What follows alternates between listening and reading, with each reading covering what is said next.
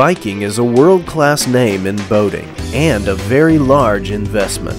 So when blisters were found on this 54-footer, a fast, effective solution was needed, and the dustless blaster got the job. We taped off the waterline and plugged all the holes. Even though the dustless blaster produces no dust, we put up simple containment to prevent the water vapor from going into the marina office, which was right downwind. We test blasted a small area of the hull to ensure that it was opening blisters to the satisfaction of the coatings specialist and the yacht owner.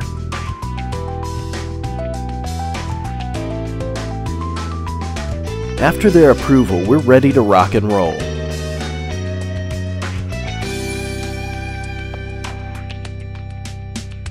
The dustless blaster is able to remove the anti-fouling paint very quickly, and by blasting on the blistered areas for a little longer, we're able to open the blisters right up so they can be repaired properly.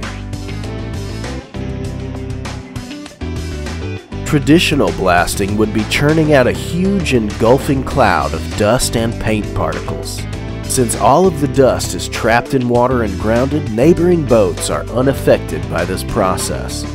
For this job, we're using medium recycled bottle glass at 135 psi. Normally, for simply removing anti-fouling paint without damaging the gel coat, we would recommend blasting at about 70 psi. But in this case, we needed to open blisters in the gel coat so that the blisters can be repaired.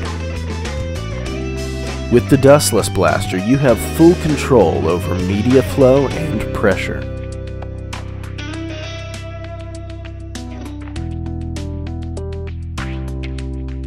The paint comes off very quickly, but by dwelling on the blistered areas for a little longer, the operator is able to open the gel coat blisters. If you look closely, you can actually see the blisters opening up in the gel coat.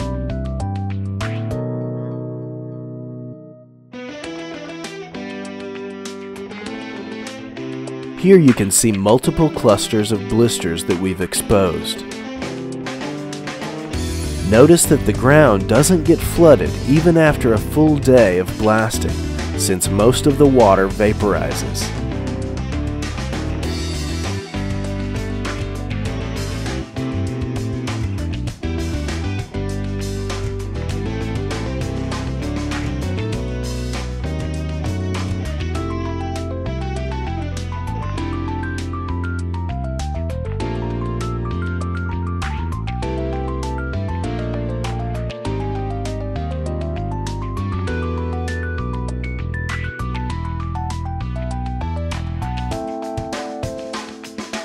Outside the simple curtain, there is no trace of dust.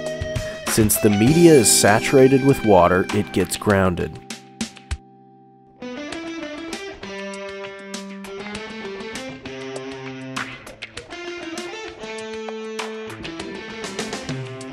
After a rinse, this boat is ready to be re-gel coated and repainted.